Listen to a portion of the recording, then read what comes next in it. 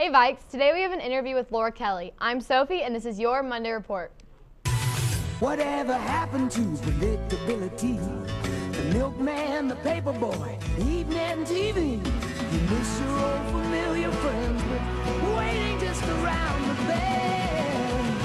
Everywhere you look, everywhere there's a heart Hey Vikes, I'm Sophie and this is your Monday Report.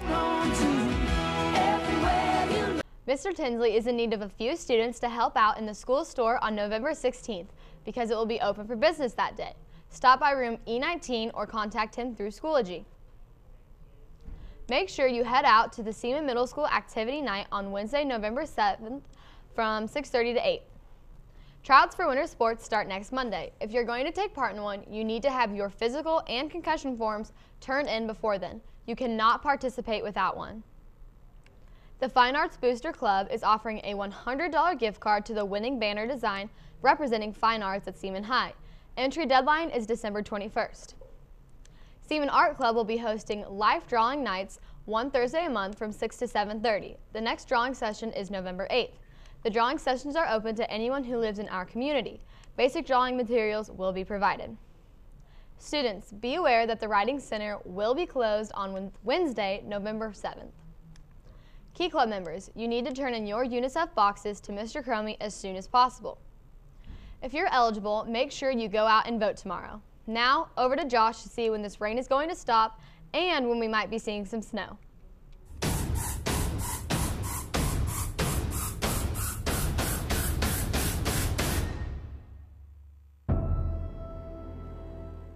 Vikes, I hope you enjoyed the extra hour of sleep we gained Sunday morning. And let's take a look at the new sunrise time. 6.55 in the morning, that's right. So a little bit later, but sunset quite a bit earlier, 5.17. And keep in mind, these numbers are still getting earlier. We are still losing daylight all the way up through December 22nd. And as we take a look now at the rainfall through this morning so far, 18 hundredths of an inch have fallen with the showers around. It was a wet drive into school, but overall the rain going to become more hit and miss throughout the remainder of the day today. However, where it's not going to be slowing down and actually picking up is down here in the southeast where we have an enhanced risk for severe weather in play. That's right, damaging winds and tornadoes, a few of which could be on the stronger side a little bit later on down there. Back at home though, we are talking about a snow chance heading into Thursday afternoon. Our second snow of the season could possibly come.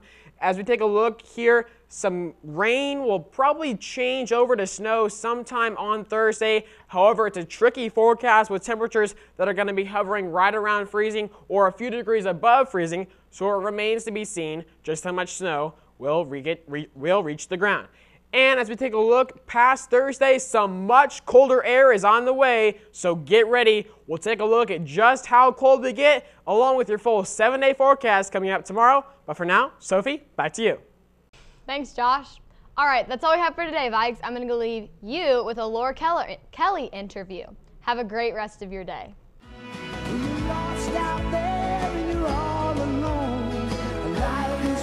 All right, that's all we have for today, Vikes. I'll see you next week.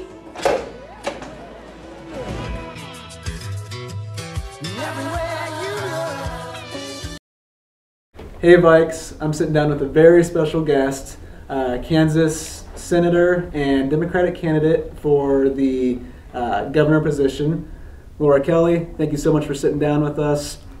The first question I really want to get into is something that I think is really important to a lot of Americans, and that's what do you love about this state?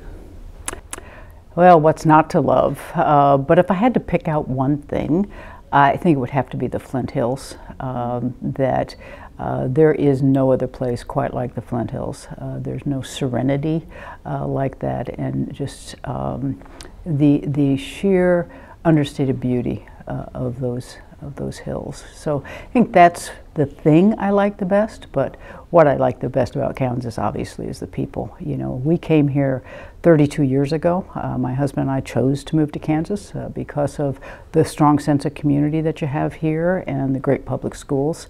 Uh, I spent 18 years as executive director for the Kansas Recreation and Park Association, so I got the privilege of traveling all over the state to every small town, every large town. Uh, really got to know the state, really got to know the people, and affirmed our decision uh, to move here. Well, that's great to hear. That kind of leads into my second question, which is what do you want for Kansas's future? I want the Kansas that I moved to. You know, we moved here because of the great public schools and the, the good job opportunities. I want to bring that back. You know, we we've really suffered over the past eight years.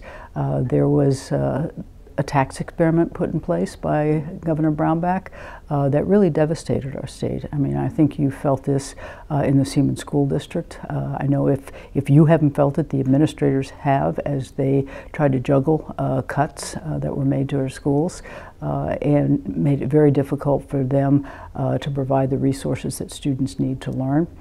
so I want to I want to restore that. I, I want to bring our schools back to being the world-class operations they always have been. and then we need to do some other things. We need to reinvest in our infrastructure. Uh, our roads have been, uh, we've canceled projects, we've delayed projects, we've not been doing maintenance. Uh, so we're taking what used to be probably the best roads in the country. Uh, and they no longer are, and we need to bring that back. It's incredibly important to our economy. Uh, I also want to make sure that we've got broadband coverage all across the state. You know, this is this is a time in the business world where if you don't have access to the internet, uh, you're not going to have a business, and we'd have a very hard time attracting businesses uh, or getting people to stay uh, if we don't have access for that. So we need to do that. And then finally, I will expand Medicaid uh, so that we can provide health care access uh, to 150,000 more Kansans uh, but will also grow our economy and uh, increase the number of jobs in this state. All right, thank you. Um, one of the things you touched on is education.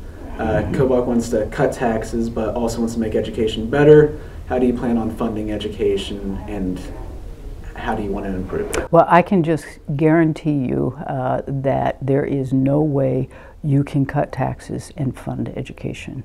We know that. We just went through that experiment. When, we, when taxes were cut under the Brownback tax experiment, there then followed the largest cuts uh, to our schools in our state's history they have to come together. So to say that you can cut taxes and still fund our schools adequately and equitably uh, is false. It cannot be done. I've spent 14 years on the budget committee. I know the budget in and out, and I know it's impossible to do that.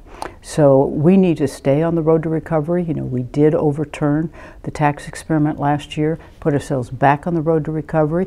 We've been able to fund our schools. We'll come back next year uh, and finish off the inflation factor, and then we just need to continue to fund it at that level uh, straight through and keep ourselves out of court. All right. And obviously, there's a lot of 18 year old seniors getting ready to go off to college. It seems like every year college prices just keep on going up. Is there anything you plan on doing that will kind of keep those prices down for us? There is a direct correlation uh, between the amount of state support that our higher education institutions get and tuition. When we lower the support, which we have done significantly over the past eight years, tuition has been rising at skyrocketing rates. Uh, so, yes, we can adequately fund our higher education system. That will be one thing that we can do. The other thing that we can do is we can continue to build on a career and tech ed uh, program, you know, giving kids the ability to come out of uh, high school either with a trade certificate uh, or with one year of college under their belt so that they can finish the, their four year program in three, and that would be a savings on tuition. Okay. And K through 12 schooling and college is something that everyone can get behind. What are some other pieces of legislation that you want to present that both Republicans and Democrats can get behind? Well, I know Medicaid expansion is one of those. Uh, the legislature actually passed Medicaid expansion a couple of years ago. Governor Brownback vetoed it. We were not able to override that veto. Uh, but they can pass it again uh, this next session. We'll only need a simple majority, not a supermajority. I will sign it into law and we'll move on. And one of the key issues that you and Mr. Kobach differ on is uh, undocumented immigrants. Um, he's kind of said what he wants to do. What would you like to do, and how do you think that's better for Kansas? Uh, well, I think we can all agree that we want safe and secure borders and safe and secure communities, and so we will do that. Uh, but the fact of the matter is, for decades now, we have needed a comprehensive immigration reform bill passed by Congress. So I'm going to work very hard with our congressional delegation to get them to break down the barriers, to work across the aisle, and finally get that reform bill taken care of so that we can move on. You know, our industry here in the state of Kansas is highly dependent upon immigrant labor. Uh, if we were to just ship everybody back uh, to their country, uh, our, a lot of our towns would, would blow away. We don't want that to happen, uh, but we've got to find a way, uh, Congress has to find a way to fix it for us. Uh, they really do. Uh, obviously, where you're at now, you've worked really hard. What's some advice that you have for high schoolers on how they can become successful? Uh, continue their education, uh, whether in the trades. Uh, you know, I think there are a lot of very good high-paying jobs available. Uh, so going to a career and tech ed school, getting that certificate and getting to work uh, is one way. The other way, obviously, is to continue education through our four-year system and get themselves ready to enter the workforce prepared. And that kind of wraps up some of the serious questions. Uh, we thought it'd be fun to ask you guys. Homecoming season kind of wrapped up, so we asked Mr. Kobach, and we thought it'd be fun to ask you some of the same questions we asked our homecoming candidates. Uh, so the first question is, if you could have one superpower, what would it be? Uh, it probably would be to end poverty. You know, I, I think when I look around at how problems are caused and how people struggle, if, if there's one, one criterion that happens in almost all those cases, poverty is the problem. All right, and that leads to our second question, which is if you were stuck on an island and you could only have one food, what would it be? Oh dear, that would probably have to be uh, a tuna sandwich. Tuna sandwich, all right. I'm more of a steak guy, but uh, now just some. I figured I didn't have a cow, so what was I going to? yeah. I could Uh, now fish. just some rapid fire questions. Jayhawks or Wildcats? Not saying. uh, Chili's or Applebee's? Uh, neither. I really prefer Noto Burrito. Okay, all right. Uh, burgers or hot dogs? Oh, definitely burgers. And then Kelly or Kobach? Give me a break. I, I think Laura Kelly will do a great job for every Kansan. All right. Well, thank you so much. Uh, the election is November 6th, so make sure if you're 18, get out there and vote. Thank you again for meeting with us. It's been This a was this was delightful. Thank you. yeah.